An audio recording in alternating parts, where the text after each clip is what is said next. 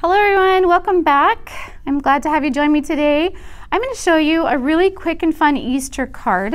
And the thing I like about this the most is making these Easter eggs. They're so much fun. So what you're going to need to do is come down to the store and we have some die cuts that we use here um, in the die cut center. So if you come here, somebody in scrapbooking will show you how to use them. And I've used this one for the basket and the eggs. And the eggs are I punched out of white so that we can decorate them and make them super cute. And then I used this one, number 42, for the bow on the basket. And I used this one, G2, for the grass. And you can see like, you can cut it down. You'll get like three or four grasses out of it. Anyway, you can cut it into pieces. Um, what we're gonna start with is a four and a quarter by five and a half inch card. That's a, a basic regular card. And then I've cut this piece to be uh, four, a little smaller than that. I don't remember. I like a little. I like a little bit of a border. This one is four by five and a quarter. And the reason I do four inches across and then border it, or you can just leave one border, is because your designer series paper is 12 by 12. So if you cut it at four inches and then five and a quarter length, you can get six cards out of one piece of designer paper. So I've already pre-glued that and, and got it ready for us. And then the little basket, this is like a quarter of an inch just piece strip. And so I would glue that on. Well, let me show you that when we get to that part. I'm getting ahead of myself. I'm so excited to show you this. You're gonna need, um, these are called E-Z Dots repositionable. You might have something else that's repositionable, but I absolutely love this product. It is so much fun. I'll show you that. Then you're gonna need some blender brushes. These are by Picket Fence, and I love these because they're so they're round. Um, Ranger came out, when they came out with the Distress Oxides, they came out with flat ones. And you could probably use those okay, but I prefer the round ones. You get a much smoother blend. And then we have our Distress Oxides, and I will tell you a little bit more about the oxides. And you're gonna need this cute little stencil from Photoplay. Um, it's got all kinds of eggs eggs, uh, egg decorations. We're gonna, I'm gonna show you how to use that. Okay, let's get started. Okay, so the first thing I'm gonna show you is how to use the Distress Oxides on these eggs. And I wanted to tell you a little bit more. People ask me what's the difference between Distress Oxides and Distress Inks. And my answer is these are more chalky and more soft. So the inks are going to be your brighter colors, the oxides are going to be softer colors. They both work with water. If you like to work with them with water, they can, both can be blended. But I like the Distress Oxides. I also like the Distress Oxides because they sit on top of each other. They don't blend into it. So like this egg here, there's a background and then this is on the top of it. And it's, um, yeah, so it's not, they don't blend in to make like a darker color or something. So what we're gonna do is take an egg from the ones that we that I've already die cut from the store here. And I might mention too, like if you have a Cricut, you could probably find some cut files for a basket and eggs and grass and some fun stuff. But these these are really fun, these stencils. And the I also am going to use these repositionable dots. So they're called E-Z Dots Repositionable. They are sold with the other glues and double sticky tapes and other dots. And you're going to put some just put some on the back of your egg. So it will hold it in place. And let me grab a board to work on. You could work on your table if you have paper, but I want to save that so it's nice looking. So I'm going to put the egg on there and it's going to stay right there in place. And I'm going to decide which one I want to do. Um, I like polka dots. That's such a cute one. You can also do the um, a plain one and you could do like this design on the top. Um, do I have one of those? I have one somewhere. I have them all here, but they're really fun to even just do the plain ones and then do something on top of it.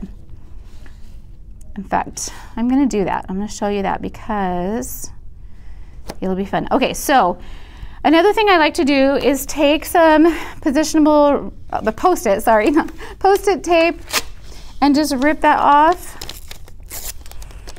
and block it over here so that it doesn't go into any of the other designs when I'm blending with it. Okay, so I'm gonna start with the pink Distress Oxide and this blender brush here. When you pick it up, the oxides to put on your brush, just kind of go in a circular motion. Now these pads are well used, so hopefully it's gonna look like yours. And I just pick up a bunch on there. You start softly, softly, and then if you want more color, and wherever you want more color, you could just start blending it around and pushing harder on this part until you have the color you want. So you can either have a soft pink or you can have a bright pink. You just keep blending in a circle until it's the shade that you want. Super easy. So I'm going to put that one aside. Then I'm to decide what other, what else I want to put on here. Let's see. I really like this one. Oh, but I like the polka dots too. Okay, I'm to do the polka dots. So cute. And then I like that I can see through this, see where I've done it already. I'm to use the purple this time. And I'm to grab my little post-it note thingies, post-it note pieces of post-it note and move them over here. Get one more to block this side along here. It probably wouldn't matter because no, there's nothing else under it. But then I'm going to either clean the brush I had or get another one. I've got another one, so you don't have to wait for me to clean it. When you do clean these brushes, you, you have to give them some time to dry. They are super fine, and um, I often don't clean them. I just rub it and rub it onto something else till all the color comes off of it and then use it. So I'm going to take the purple and apply it the same way, circular motion, to pick it up and then just go ahead and place it on top of here. In a circular motion, laying it down, pressing harder if I want more color to come off onto my egg.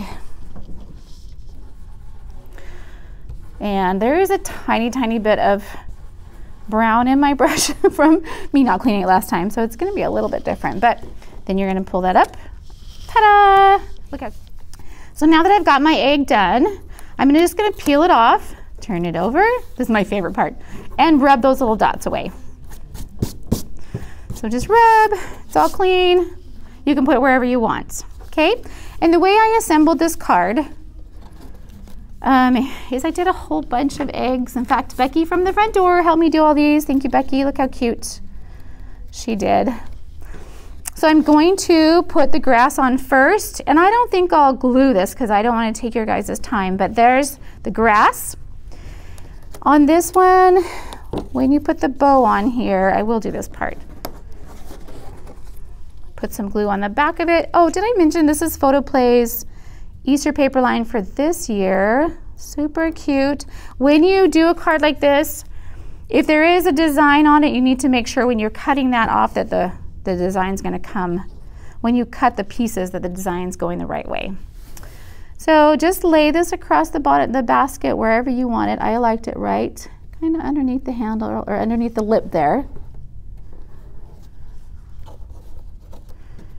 And it doesn't matter if it's too long because you can just cut it off. Okay. And then you can glue your bow on there. And what I did first is I kind of lined it all up. I actually glued the bow on last because um, it kind of overlapped the bottom eggs here. And you can decide how many eggs you want to have. Um, I made a slimline card and look how the eggs I got on that one. So it depends on how crazy you want to go with eggs. But a good thing to, a good number is an odd number. So either a three or five or seven.